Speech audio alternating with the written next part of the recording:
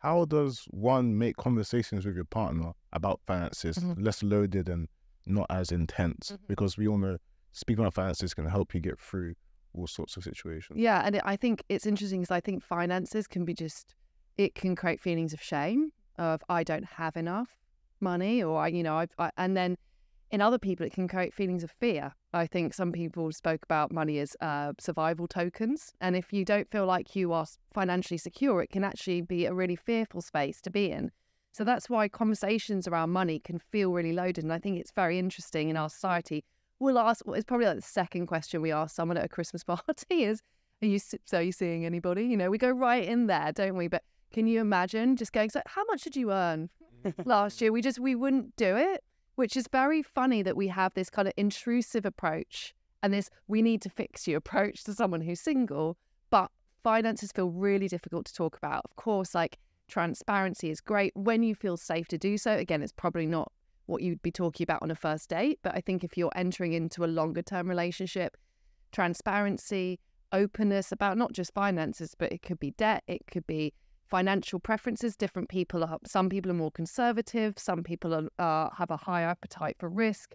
Some people have very different spending patterns that can cause problems in relationships. So, getting on the same page, also recognizing if you have similar goals, uh, and then probably getting very pragmatic. I mean, my husband and I, we have a lot of spreadsheets, you know, that we share together. I love spreadsheets. I'm in charge of the spreadsheets in our house. Because I was like, you can do them. I'll just look at them when you're finished making them. Yeah. That's that's so interesting. Is there a, a point at which you say this is the right time to start having those conversations in a relationship? Well, I think it's like anything. You need degrees of trust, right? And trust is a is a compound thing. Before you start to share what can feel like quite intimate details of your life, um, you can start also by expressing your own preferences. So I always think that's an easier way to manage these conversations. If you say, "So, got any debts?" or um, you know, how much do you really feel comfortable spending? You know, what's your savings like? It's going to feel really like in- intrusive. If you say, you know what was really important to me or something that I've realized or this is how I like to manage things and you share, it creates a much safer environment for the other person to share information in return. So I think that's a nice way you can kickstart the conversation about money.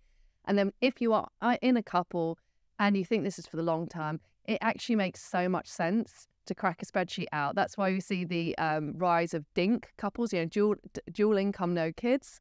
It's a trend. And it's because people are recognizing actually it is a pretty tough economic environment out there.